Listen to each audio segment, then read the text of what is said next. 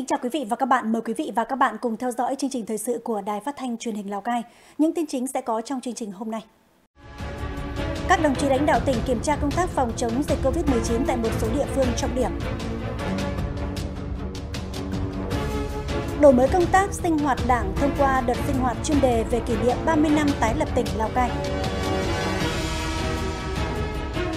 Hôn nhân không đăng ký dẫn đến nhiều hệ lụy thiệt thòi cho trẻ em.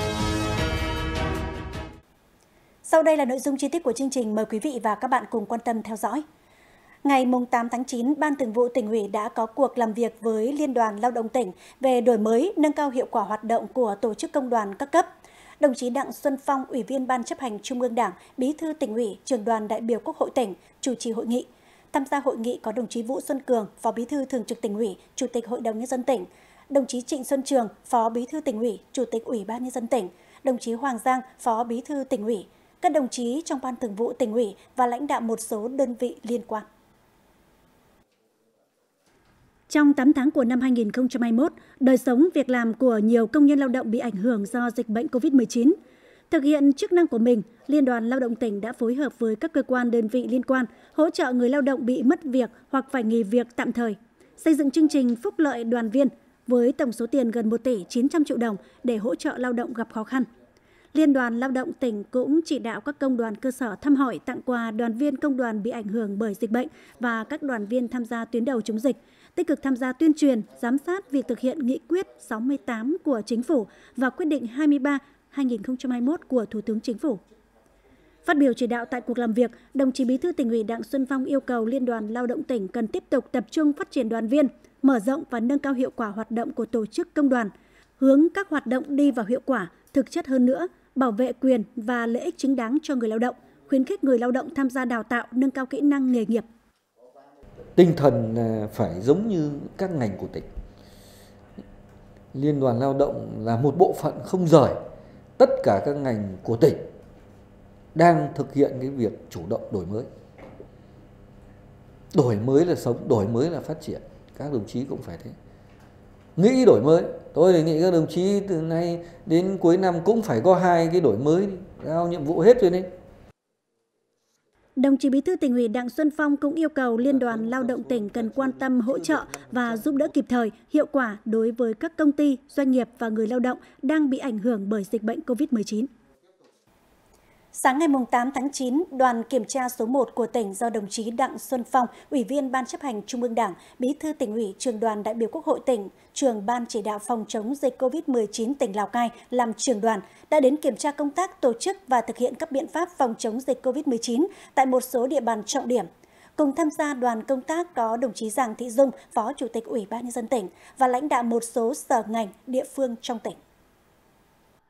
Tại Bệnh viện Sản Nhi và Bệnh viện Đa khoa tỉnh, đồng chí Bí thư tỉnh ủy Đặng Xuân Phong đã trực tiếp kiểm tra khu vực tiếp đón, phân loại, khám bệnh, cách ly các trường hợp nghi nhiễm COVID-19. Đồng chí Bí thư tỉnh ủy đánh giá cao những nỗ lực của đội ngũ cán bộ, y bác sĩ, nhân viên y tế của hai bệnh viện trong suốt thời gian qua, đồng thời yêu cầu cùng với việc chuẩn bị đầy đủ các điều kiện sẵn sàng khám cấp cứu điều trị cho bệnh nhân COVID-19 trong trường hợp gia tăng số ca nhiễm,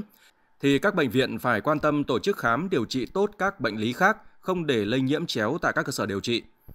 kiểm tra công tác tổ chức và thực hiện các biện pháp phòng chống dịch COVID-19 tại khu vực cửa khẩu quốc tế đường bộ số 2 Kim Thành và các chốt kiểm soát phòng dịch người phương tiện ra vào cửa khẩu. Đồng chí Bí thư tỉnh ủy Đặng Xuân Phong yêu cầu các lực lượng chức năng phối hợp quản lý chặt chẽ nhưng phải linh hoạt sáng tạo, vừa đảm bảo đúng quy định phòng chống dịch, vừa không gây ảnh hưởng đến lưu thông hàng hóa và người lao động làm việc tại cửa khẩu. Cũng trong sáng nay, đồng chí Bí thư tỉnh ủy Đặng Xuân Phong và đoàn công tác đã đến khảo sát khu vực dự kiến mở thêm chốt kiểm soát dịch bệnh COVID-19 tại km 192 600 thuộc địa phận xã Tân An, huyện Văn Bàn trên cao tốc Nội Bài Lào Cai. Tại đây, đồng chí Bí thư tỉnh ủy yêu cầu các ngành địa phương phải tính toán thật kỹ các điều kiện trước khi quyết định chính thức. Cũng trong ngày hôm nay, đồng chí Vũ Xuân Cường, Phó Bí thư Thường trực tỉnh ủy, Chủ tịch Hội đồng Nhân dân tỉnh, Phó trưởng Ban chỉ đạo công tác phòng chống dịch bệnh COVID-19 tỉnh, trưởng đoàn công tác số 3 của tỉnh đã đi kiểm tra công tác phòng chống dịch COVID-19 tại thị xã Sapa. Đoàn đã đi kiểm tra công tác phòng chống dịch tại xã Tả Phìn, chốt kiểm soát y tế tại đỉnh đèo Ô Quý Hồ, khu cách ly y tế tập trung và khu điều trị giã chiến Bệnh viện Đa khoa thị xã Sapa. Để chủ động phòng chống dịch, thị xã Sapa đã thành lập Trung tâm Chỉ huy Phòng chống dịch bệnh COVID-19 với 8 tiểu ban và các trung tâm ở 16 xã phường, thực hiện kiểm soát chặt người và phương tiện ra vào địa bàn, xây dựng bệnh viện giã chiến với quy mô khoảng 120 giường, triển khai 113 tổ COVID-19 cộng đồng tại các thôn tổ dân phố. Qua kiểm tra thực tế, đồng chí Vũ Xuân Cường, Phó Bí thư Thường trực tỉnh ủy, Chủ tịch Hội đồng Nhân dân tỉnh đánh giá cao tinh thần chủ động, tích cực, quyết liệt của thị xã Sapa trong phòng chống dịch bệnh và yêu cầu thị xã cần tiếp tục tăng cường công tác tuyên truyền, quản lý chặt chẽ số lượng người đi đến địa bàn, chủ động đủ lượng thuốc, phương tiện, vật tư, trang thiết bị phục vụ cho công tác phòng chống dịch bệnh, đặc biệt là tăng cường thêm máy thở và bình oxy, có phương án sẵn sàng ứng phó khi có tình huống xấu xảy ra. Đối với các đề xuất kiến nghị của địa phương, đồng chí giao các ngành chuyên môn nhanh chóng xem xét, giải quyết để hỗ trợ địa phương thực hiện công tác phòng chống dịch đạt hiệu quả cao. Đoàn công tác số 4 của tỉnh do đồng chí Hoàng Giang, Phó Bí thư tỉnh ủy, Phó trưởng Ban chỉ đạo phòng chống dịch COVID-19 của tỉnh làm trường đoàn cũng vừa có chuyến kiểm tra thực tế tại huyện Văn Bản. Cụ thể, đoàn công tác đã tới kiểm tra các chốt kiểm soát dịch bệnh, khu cách ly tập trung tại thị trấn Khánh Yên và khu cách ly điều trị thuộc Bệnh viện Đa khoa huyện Văn Bàn.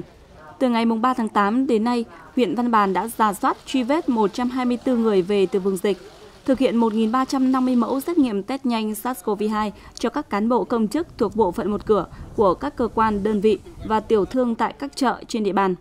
Tổ chức đón nhận và quản lý 420 người, trong đó 335 người đã hoàn thành thời gian cách ly,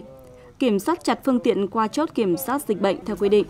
Ngoài ra, huyện Văn Bàn cũng đã chủ động kinh phí để mua vật tư, hóa chất, trang thiết bị, test nhanh nhằm đáp ứng yêu cầu công tác phòng chống dịch tại địa phương. Trước tình hình dịch COVID-19 có nhiều diễn biến phức tạp, đồng chí Phó Bí thư tỉnh ủy Hoàng Giang yêu cầu Ban chỉ đạo phòng chống dịch COVID-19 huyện Văn Bàn phải lấy dự phòng làm gốc, phát huy vai trò của các tổ COVID-19 cộng đồng, tăng cường kiểm soát người qua chốt, đồng thời phải chuẩn bị đầy đủ cơ sở vật chất, nhân lực và xây dựng phương án cho mọi tình huống dịch trên địa bàn, xử lý nghiêm những trường hợp chủ quan, lơ là trong công tác phòng chống dịch. Chiều ngày 8 tháng 9, Chủ tịch Ủy ban nhân dân tỉnh đã có công văn phát động phong trào thi đua phòng chống dịch COVID-19 trên địa bàn tỉnh Lào Cai. Đài phát thanh truyền hình Lào Cai xin được trích toàn văn lời phát động.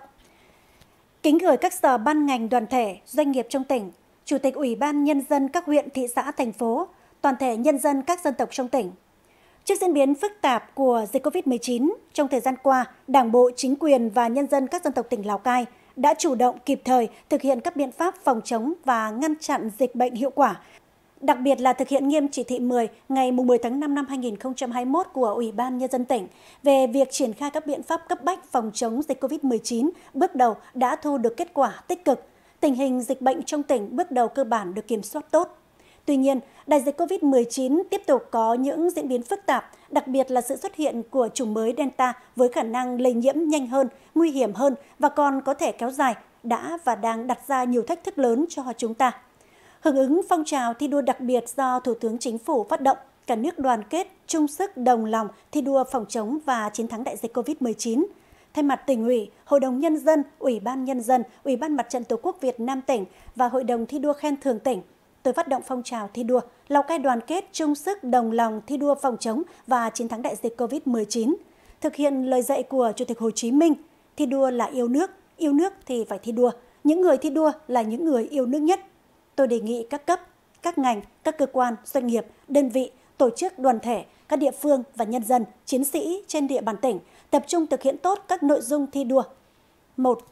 Đẩy mạnh phong trào thi đua phòng chống dịch với quyết tâm cao nhất năng động, sáng tạo, phối hợp chặt chẽ và huy động các nguồn lực xã hội, động viên, khích lệ mọi người dân tự giác, tích cực tham gia phòng chống dịch COVID-19 nhằm ngăn chặn, đẩy lùi, không để dịch bệnh lan rộng, bùng phát trong cộng đồng. Đồng thời tích cực tham gia sản xuất kinh doanh, góp phần phục hồi và phát triển kinh tế, tạo nguồn lực để tập trung chống dịch, đảm bảo an sinh xã hội, chăm lo sức khỏe và đời sống nhân dân. 2. Phát huy sức mạnh toàn dân tham gia chống dịch, thực hiện nghiêm, hiệu quả các biện pháp phòng chống dịch theo quy định, đặc biệt nâng cao trách nhiệm của người đứng đầu cơ quan đơn vị, địa phương, góp phần giữ vững an ninh chính trị, trật tự an toàn xã hội. 3. Tiếp tục duy trì công tác giả soát, kiểm soát, nắm bắt tình hình di biến động của người dân trên địa bàn, người đi lao động tại các địa phương khác ngoài tỉnh,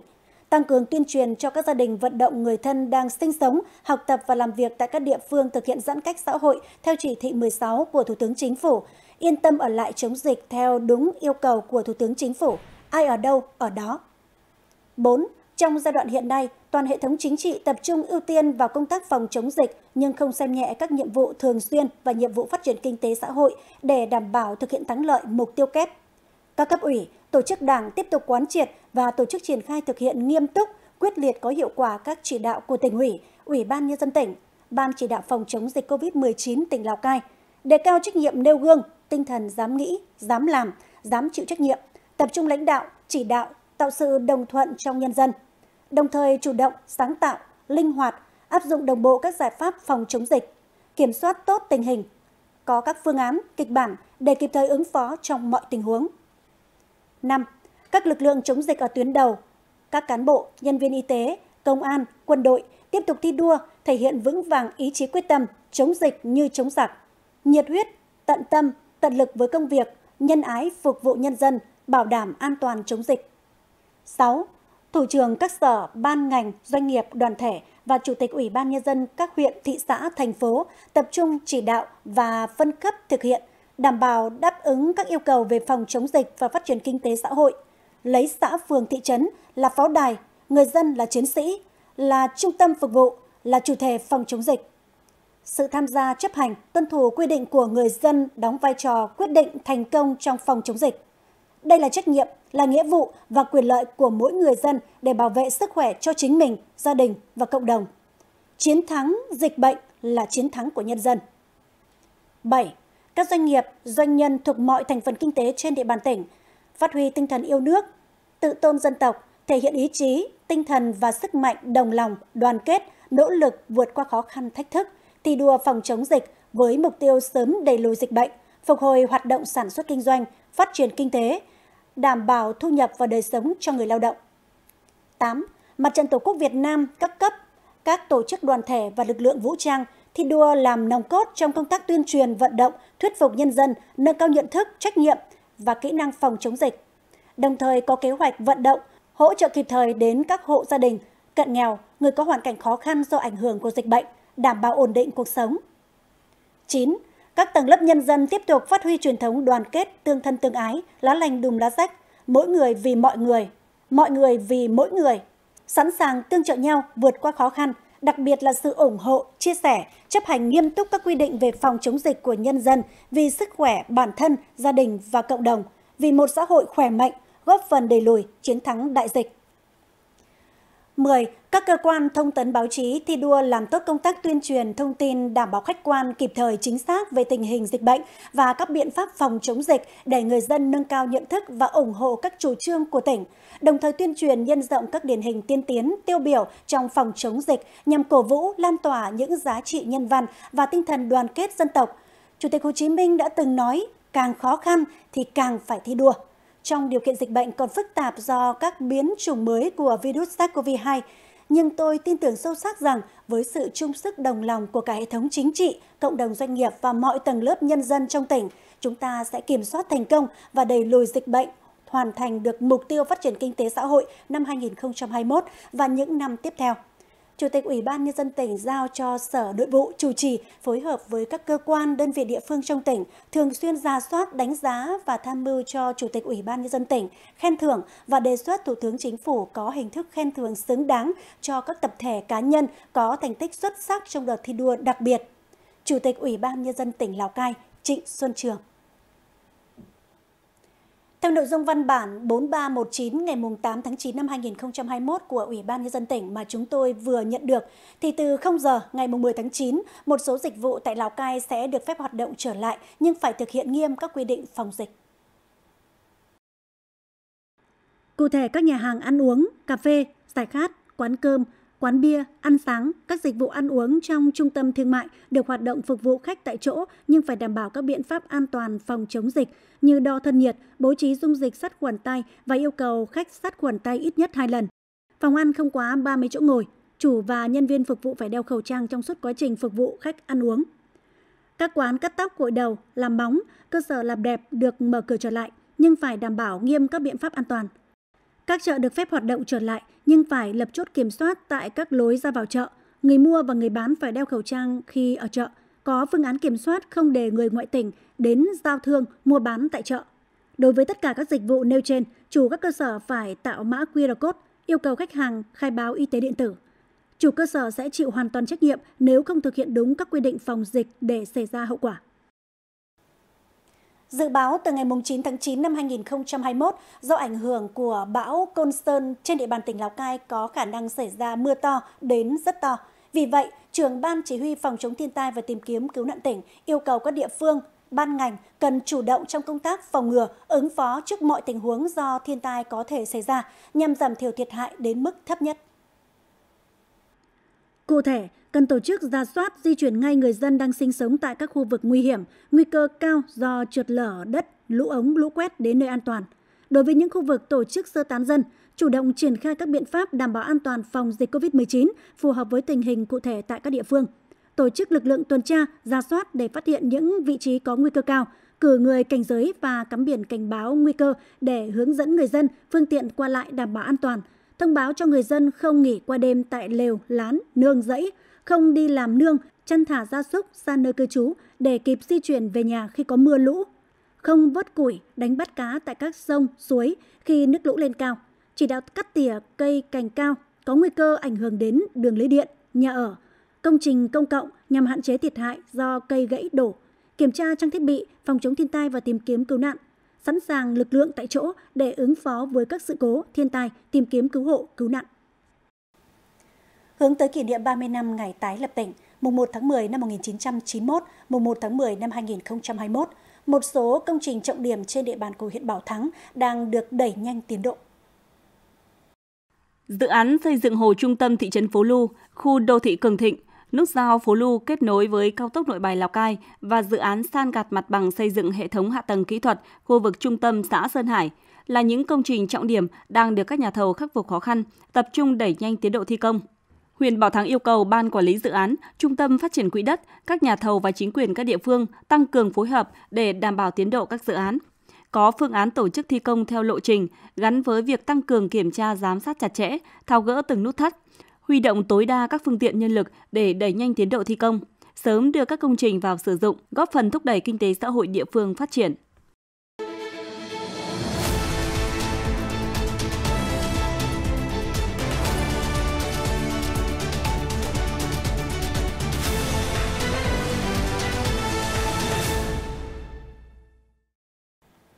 Thưa quý vị và các bạn, những ngày này, các cơ quan, đơn vị địa phương trong toàn tỉnh đang có nhiều hoạt động ý nghĩa hướng tới kỷ niệm 30 năm ngày tái lập tỉnh Lào Cai. Để nâng cao nhận thức cho đội ngũ cán bộ đảng viên về sự kiện chính trị đặc biệt này, Đảng bộ khối cơ quan doanh nghiệp đã chỉ đạo các chi đảng bộ trực thuộc tổ chức các buổi sinh hoạt chuyên đề với chủ đề Lào Cai 30 năm tái lập, xây dựng và phát triển.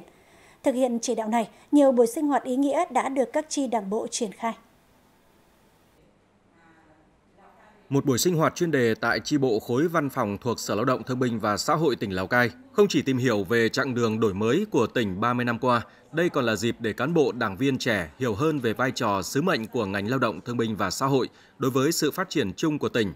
Thông qua những thước phim tư liệu, những câu chuyện ôn lại ký ức cũng giúp cho cán bộ đảng viên tìm hiểu về những dấu ấn đậm nét của ngành lao động ở lĩnh vực giảm nghèo, đào tạo, lao động việc làm – từ đó giúp họ thêm trân quý công việc mà mình đang thực hiện.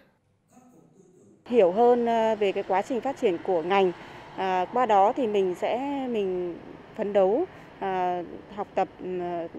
những cái chuyên đề rồi là À, bồi dưỡng những kiến thức chuyên môn, nghiệp vụ để góp phần à, xây dựng ngành lao động thương binh xã hội phát triển ngày càng tốt hơn. Là một cái dịp để cán bộ công chức, viên chức hiểu được về ngành của mình hơn, bởi vì cũng có những đồng chí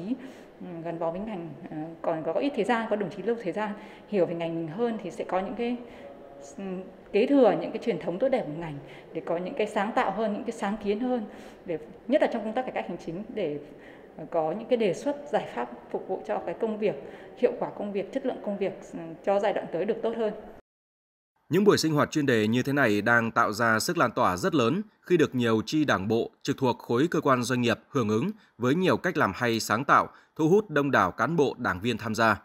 Đảng ủy khối khuyến khích các chi đảng bộ tập trung sinh hoạt chuyên đề 30 năm tái lập tỉnh gắn với nhiệm vụ đặc thù của mỗi cơ quan, đơn vị mình. Sinh hoạt chính trị sâu rộng trong toàn đảng bộ sẽ góp thêm một à, cái tiếng nói cũng như là một cái sự đóng góp của Đảng bộ khối đối với cái sự phát triển của Lào Cai trong 30 năm qua cũng như là trong thời gian tới. À, chúng tôi hy vọng rằng là thông qua đợt sinh hoạt chính trị này thì à, mỗi cán bộ đảng viên sẽ phát huy thêm cái tinh thần trách nhiệm, ý thức của mình để cùng với Đảng bộ, chính quyền nhân dân trong tỉnh xây dựng Lào Cai đạt được những cái mục tiêu mà như nghị quyết Đại hội Đảng bộ tỉnh lần thứ 16 đề ra, phấn đấu xây dựng Lào Cai ngày càng phát triển hơn trong thời gian tới. Cùng với những buổi sinh hoạt chuyên đề, thì phong trào thi đua 90 ngày lao động xuất sắc lập thành tích chào mừng 30 năm tái lập tỉnh cũng được triển khai sâu rộng, thu hút sự tham gia tích cực của đông đảo cán bộ, đảng viên, người lao động khối các cơ quan doanh nghiệp thông qua nhiều việc làm thiết thực. Những hoạt động ý nghĩa này sẽ góp phần củng cố thêm niềm tin của cán bộ, đảng viên, công chức, viên chức và người lao động vào sự lãnh đạo của Đảng, sự quản lý, điều hành của chính quyền các cấp, tiếp tục nỗ lực phấn đấu xây dựng tỉnh Lào Cai ngày càng phát triển. Bộ Thông tin và Truyền thông, Tổng công ty Bưu điện Việt Nam vừa phối hợp với Ủy ban An toàn Giao thông Quốc gia, Tập đoàn Vingroup phát hành bộ tem an toàn giao thông đường bộ. Bộ tem gồm 4 mẫu tem có giá 4.000 và 6.000 đồng do họa sĩ Phạm Trung Hà, Tổng công ty Bưu điện Việt Nam thiết kế và được cung ứng trên mạng bưu chính công cộng từ ngày 5 tháng 9 năm 2021 đến ngày 30 tháng 6 năm 2023. Bộ tem an toàn giao thông đường bộ Bộ 2 được Bộ Thông tin và Truyền thông truyền tải 4 quy tắc đảm bảo an toàn khi tham gia giao thông đường bộ, gồm trời tối, bật đèn soi lối, buồn ngủ, tự nhủ dừng xe, giảm tốc độ để thương lộ bình an và khi đang cầm lái đừng nhắn cho ai. Thời gian gần đây giá lợn hơi liên tục giảm, nhưng giá thịt lợn tại các chợ lại vẫn ở mức cao. Đây là nghịch lý, đòi hỏi các ngành chức năng cần tăng cường quản lý thị trường từ khâu thu mua, giết mổ và bán lẻ, tránh thiệt hại cho người chăn nuôi và người tiêu dùng. Những ngày qua, chị Nguyễn Thị Tươi ở xã Bản Qua, huyện Bát Sát vô cùng sốt ruột lo lắng bởi đàn lợn hơn chục con của gia đình đã đến lúc xuất chuồng. Nhưng giá lợn hơi lại xuống thấp, chỉ ở mức 45 đến 50 000 đồng một kg. Trong khi giá thức ăn chăn nuôi lại tăng cao nên chắc chắn người nuôi sẽ không có lợi nhuận, thậm chí thua lỗ. Lúc nọ lúc kia thì lúc nó lỗ thì mình bây giờ kiểu nó lỗ quá thì, thì cũng lo, bây giờ muốn gọi bán thì không bán được Dạ, giờ cả kiểu một lần lái buôn thì họ lại cứ giả mình rẻ đi dèm xong rồi giả mình rẻ lắm bây giờ gọi muốn bán thì cám thì cứ lên nằm nhưng mà muốn bán cũng không bán được thật trong khi đó, tại các chợ truyền thống, giá bán thịt lợn hiện đang ở mức cao, dao động từ 110 đến 130 000 đồng một kg. Theo các tiểu thương, nguyên nhân có sự chênh lệch này không phải ở khâu bán ra mà phụ thuộc khá nhiều vào giá tại các lò mổ. Nói chung là cũng có người hỏi nhưng mà bảo là bây giờ đây cho người ta là xem cáp lợn mình mua mình móc hàm là cái giá như thế. Thị trường là bây giờ mình móc hàm như thế thì đấy. Còn đi vào dân người ta, những người vào từ lò người ta vào dân người ta bắt như nào thì mình không biết. Mình chỉ là móc hàm từ lò về đây thôi. Theo Sở Nông nghiệp và Phát triển Nông thôn, từ đầu tháng 8 đến nay, giá lợn hơi liên tục hạ, So với cùng kỳ năm 2020 thì giá đã giảm gần 50% và đang ở mức thấp nhất trong vòng 2 năm qua. Nhưng do có quá nhiều khâu trung gian tham gia vào quá trình tiêu thụ, việc phân chia lợi nhuận không đều, dẫn đến giá bán thịt lợn đang bị đẩy lên cao. Với chức trách của mình, đại diện Chi cục chăn nuôi và thú y tỉnh cũng chỉ có thể đưa ra lời khuyên để người chăn nuôi có thể tiết giảm chi phí. Thời điểm hiện nay thì giá thức ăn tăng cao. Nếu mà người dân thực hiện nghiêm túc cái quy trình chăn nuôi an toàn và cái à, tự chủ động sản xuất được con giống và à, có thể là liên kết sản xuất để chúng ta giảm cái chi phí đầu vào. Đấy, hoặc là tận dụng cái nguồn nguyên liệu thức ăn tại chỗ thì người chăn nuôi nếu mà nuôi khéo là vẫn còn lãi. Dự báo trong thời gian tới, nếu tình hình dịch bệnh được kiểm soát tốt, các quán ăn nhà hàng mở cửa trở lại, nhu cầu tiêu thụ thịt lợn tăng cao thì giá thịt lợn có thể sẽ còn tiếp tục tăng. Vì vậy, việc điều tiết thị trường cần phải được các cơ quan chức năng tăng cường nhằm đảm bảo quyền lợi cho cả người chăn nuôi và người tiêu dùng.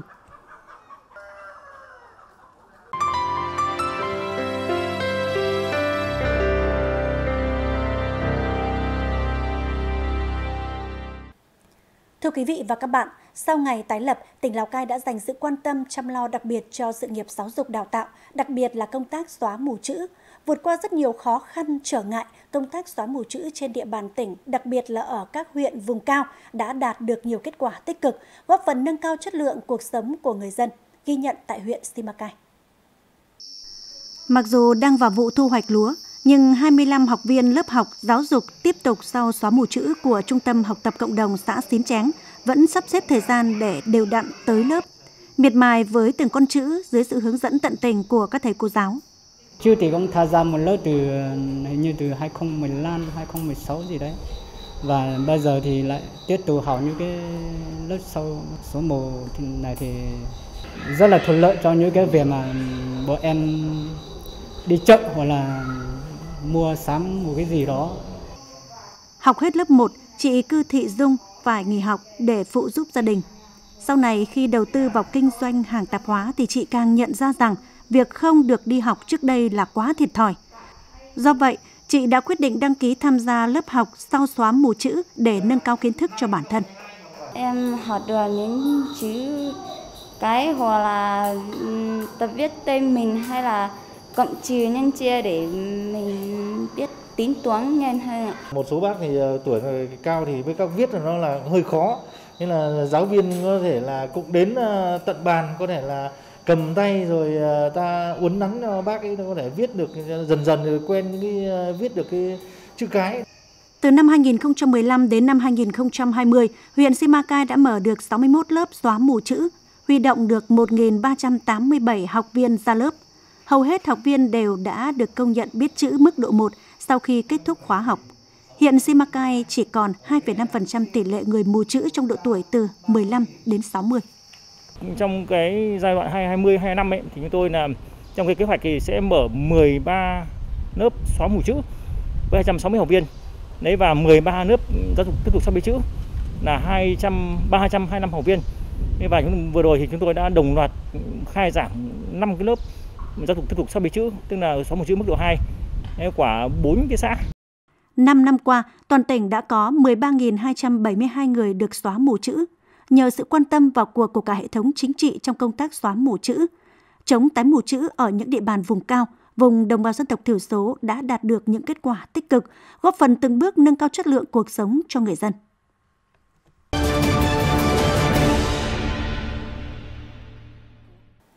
Bệnh viện nhiệt đới Trung ương cho biết vừa tiếp nhận một bệnh nhân 30 tuổi ở tỉnh Lào Cai nhập viện trong tình trạng suy gan, suy thận, rối loạn đông máu do ăn tiết canh. Trước đó, gia đình bệnh nhân đã tổ chức mổ lợn đánh tiết canh để ăn. Sau khi ăn tiết canh khoảng 3 ngày, bệnh nhân bị sốt cao, rét run, đau mỏi người, xuất huyết dưới da toàn thân. Bệnh nhân đến Bệnh viện Đa khoa tỉnh Lào Cai khám rồi được chuyển cấp cứu tới Bệnh viện nhiệt đới Trung ương. Kết quả xét nghiệm cho thấy nam bệnh nhân còn bị nhiễm trùng máu, May mắn là bệnh nhân đã được đưa đi điều trị kịp thời, bệnh chưa biến chứng tới não và gây hoại tử. Sau một ngày điều trị, bệnh nhân đã ổn định, hiện đang tiếp tục được theo dõi tại khoa hồi sức tích cực Bệnh viện nhiệt đới Trung ương do vẫn có nguy cơ trở nặng. Hỏi, người lao động đủ điều kiện hưởng chính sách hỗ trợ lao động ngừng việc do dịch COVID-19 đang mang thai và có một con nhỏ dưới 6 tuổi thì được hưởng những hỗ trợ nào? Trả lời, theo quy định tại Điều 18 Quyết định 23-2021 của Thủ tướng Chính phủ, nếu người lao động đủ điều kiện hưởng chính sách hỗ trợ lao động ngừng việc, thì ngoài việc được hỗ trợ lao động ngừng việc 1 triệu đồng, còn được hỗ trợ thêm mức hỗ trợ 1 triệu đồng do đang mang thai và mức hỗ trợ 1 triệu đồng do đang nuôi con nhỏ dưới 6 tuổi. Như vậy, mức hỗ trợ đối với những trường hợp này là 3 triệu đồng. Sẽ rất nhiều thiệt thòi nếu trẻ không có giấy khai sinh, nhất là trong khám chữa bệnh và học tập. Nguyên nhân dẫn tới trẻ không có giấy khai sinh hầu hết là do bố mẹ các em kết hôn mà không thực hiện đăng ký theo quy định. Bởi vậy, các cấp, các ngành chức năng cần có giải pháp quyết liệt hơn để sớm chấm dứt tình trạng hôn nhân không đăng ký. Năm nay mới hơn một tuổi, song bé Lục Thảo My ở thôn Nậm Chủ, xã Bản Cầm, huyện Bảo Thắng đã thiếu bàn tay chăm sóc của mẹ rất mực yêu thương chăm chút cháu mọi bề. Nhưng ông bà nội của Thảo My luôn lo lắng, không may bé đau ốm sẽ rất khó khăn. Bởi chưa có giấy khai sinh nên bé sẽ không được hưởng quyền lợi bảo hiểm y tế. Nó yêu nhau thì nó có bầu trước rồi, thì về nhà mình thì mình cũng nhận bảo lấy thì ờ, cũng ờ, cho sinh đẻ ở đây cũng chưa cưới thì bây giờ là ờ, mẹ nó lại bỏ đi thế này thì chả biết là nó thế nào thì bảo hôm nổi cũng bảo là mẹ nó về, mẹ nó bảo không về cái người mẹ đó phải được à, à, đăng ký tạm trú hoặc là à, nhập khẩu về đây thì mới khai sinh được ở đây. Khi cháu bé ở với bà nội, ông bà nội hoặc là ở với bố thì mẹ lại không hợp tác trong cái việc là làm giấy khai sinh. Còn nếu không thì phải về quê mẹ để đăng ký khai sinh. Tuy chưa làm thủ tục ly hôn với chồng cũ ở huyện Tam Đường, tỉnh Lai Châu, song chị Giàng Thị Mỹ đã sang sống với anh Sùng Xeo Chư ở thôn Tả Thền A, xã Thanh Bình, huyện Mường Khương như vợ chồng từ 6 năm nay. Và kết quả là anh chị đã có với nhau một cháu bé 5 tuổi. Dự kiến hơn một tháng nữa, chị sẽ lại sinh bé thứ hai. Đương nhiên là các con chị sinh ra cũng sẽ không có giấy khai sinh. Khi tôi và chồng tôi bỏ nhau thì là không ra thủ tục không làm thủ tục ly hôn. À, hiện tại tôi lấy chồng này có một đứa con gái. À, hiện tại chưa có giấy khai sinh. Lúc anh ờ, đi khỏi nó là nó bỏ nhưng mà nó tự bỏ trong làm thôi, nó không đi vào xã. Giấy thủ tục kia làm mấy lần rồi là không được. Không biết cái nó chồng chồng nó là là không ly hôn. Tình trạng hôn nhân không đăng ký đang khá phổ biến ở các địa phương vùng cao của tỉnh. Ngay trong dịp tuyển sinh đầu năm học 2021-2022, xã Thanh Bình, huyện Mường Khương đã xác định được 16 trẻ em đến tuổi đi học nhưng vẫn chưa được làm giấy khai sinh. Công dân là họ không hiểu biết thì họ sẽ chỉ bỏ nhau trên cái phong tục tập quán của dân tộc họ, cho nên là chưa ra tòa để xác định uh, ly hôn. Mà hiện tại thì là cái giấy tờ tùy thân, cái chỉ chứng minh thư chẳng hạn thì họ công dân họ cũng không có mà cũng không có đăng ký thường trú tại ờ, đăng ký tạm trú cho nên là một cái vấn đề rất là khó khăn ờ, đang hiện tại diễn biến trên địa bàn xã. Hôn nhân là câu chuyện của người lớn, nhưng rõ ràng trong những câu chuyện vừa đề cập thì con trẻ lại đang phải gánh chịu nhiều hệ lụy. Thực trạng hôn nhân không đăng ký vì vậy cần sớm được các địa phương có giải pháp quyết liệt hơn để xóa bỏ. Cách đây hơn 70 năm, bằng sự mưu trí, lòng dũng cảm, tinh thần đoàn kết, quân và dân huyện Bảo Thắng đã hợp đồng tác chiến với bộ đội chủ lực để lập nên chiến thắng đồn Phú Lu lừng lẫy vào ngày 13 tháng 2 năm 1950. Qua đó góp phần trực tiếp giải phóng hoàn toàn tỉnh Lào Cai vào tháng 11 năm 1950.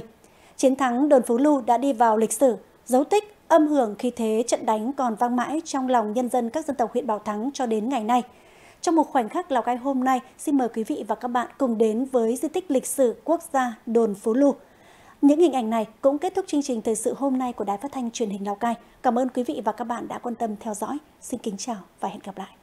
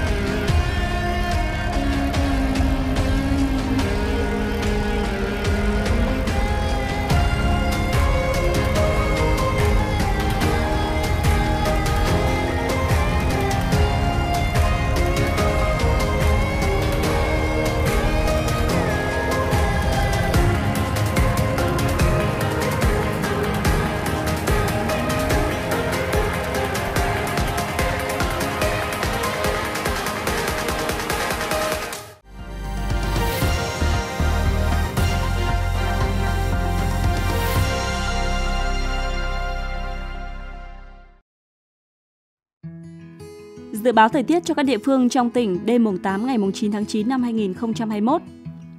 Vùng đồi núi thấp, nhiều mây, đêm về sáng có mưa, mưa rào và rông rải rác, trưa chiều giảm mây trời nắng.